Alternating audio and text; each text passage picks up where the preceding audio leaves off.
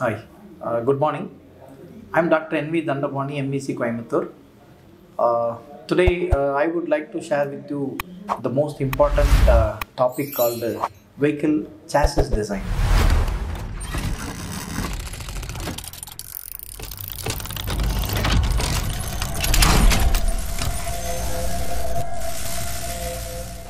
Before going to discussing that, I'll give uh, uh, what is it, what exactly the meaning of chassis. Mainly, the chassis is a load carrying member for any automotive vehicles or automobiles, right? So it may be like on-road vehicles or off-road vehicles, correct?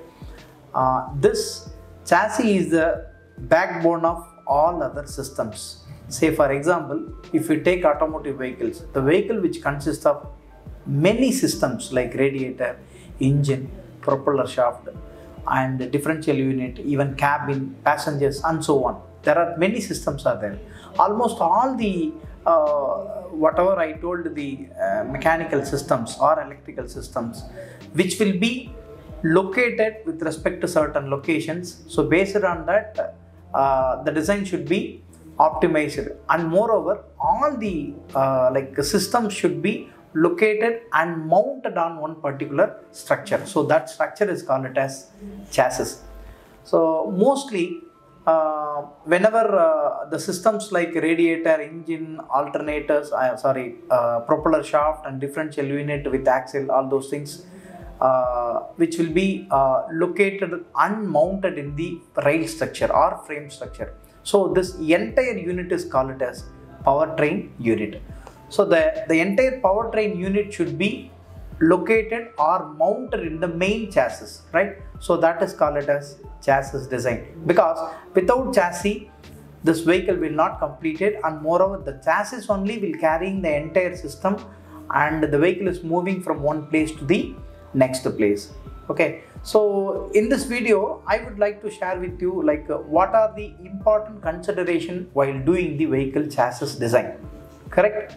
So the, the first important uh, uh, design is, uh, sorry, for the first important concept is initially if you want to arrive the chassis shape and size, before that uh, initially we need to locate the whatever the systems uh, it is already established like uh, transmission or that entire powertrain unit so this will be located with respect to certain locations that we need to decide first okay? This will be based on the center of gravity or center. Already we studied in engineering uh, uh, mechanical engineering correct? So once if uh, decided the uh, location of all the systems then the entire system should be come and sit on the chassis correct?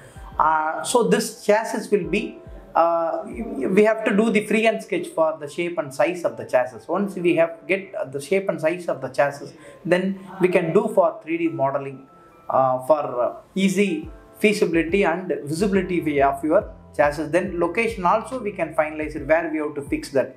Because the chassis will be located uh, like uh, uh, between uh, uh, like uh, vehicle i mean wheelbase and wheel track is more important because wheelbase and wheel track is the first one. At the top of the wheels the vehicle chassis will be sit right? Uh, so in that case the consideration should be first is location then center of gravity. After completion of the, this i mean after completion of this particular parameters then we have to consider for uh, like uh, shape and size of the chassis but shape generally we have like rectangular shape uh, uh, C channel shapes and uh, L, channels, Z sections, I sections, all those things.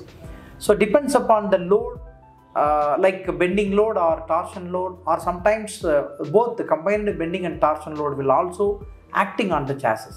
Correct.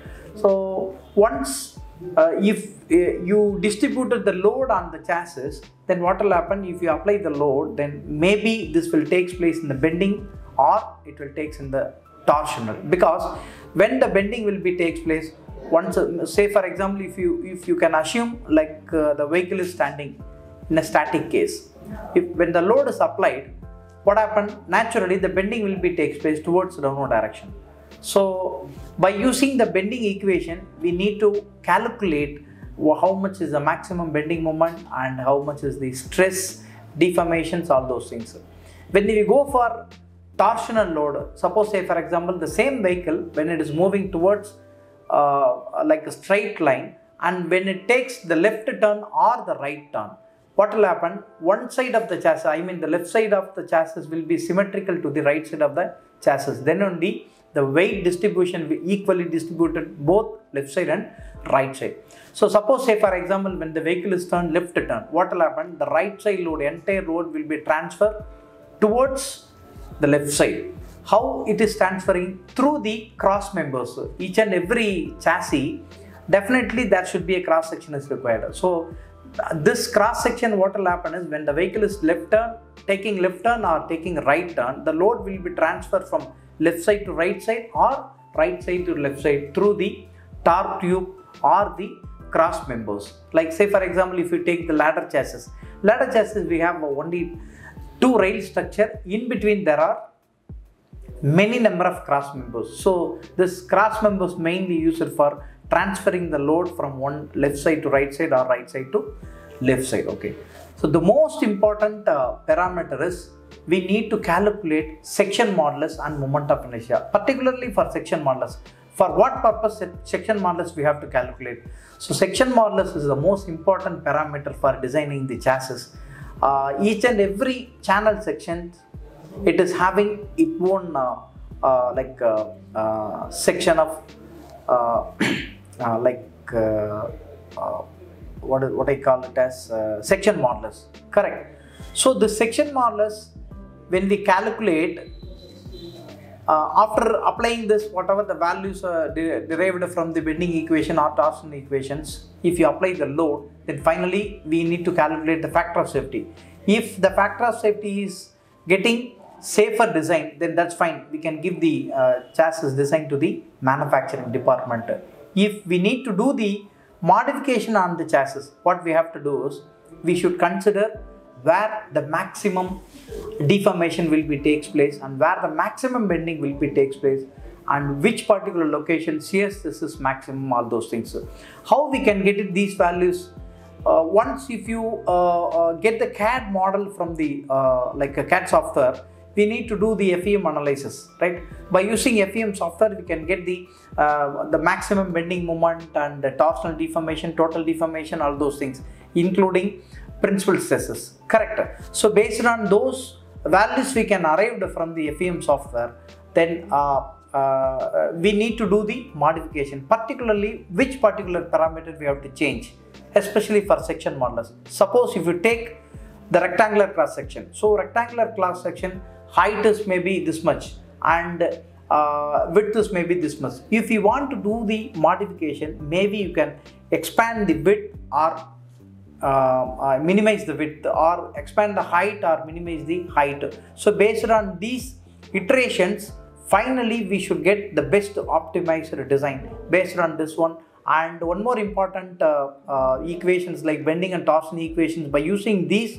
equations to arrive the shape and size of the uh, chassis uh, with respect to the bending moment and torsional or twisting moment right? Once if you arrive that all those parameters uh, so calculate by using manual calculation or by using software something like that then finally you can get those values. If it is within the safe design because we are going to calculate the factor of safety so everything within the safety design then that's fine. If suppose needs to do the modification and these are all the parameters we should consider apart from these. Because uh, sometimes what will happen the dynamic load like uh, when the vehicle is moving uh, then there is a dynamic uh, load which will be acting on the chassis. Because of the dynamic load the chassis may fail. So if it goes beyond that then we need to do the dynamic simulation or dynamic analysis for finding out the stress and deformation on this particular chassis but our ultimate aim is our uh, the final chassis should be very excellent shape and size with respect to the technical parameters. Okay? So i think uh, you may understand the uh, few uh, uh, important parameter while going to design chassis and especially for automotive vehicle designer particularly chassis and structural designer it may this video may be useful for you. Uh, maybe uh, in some other topics uh, uh, like in my next video we can discuss on this. Thank you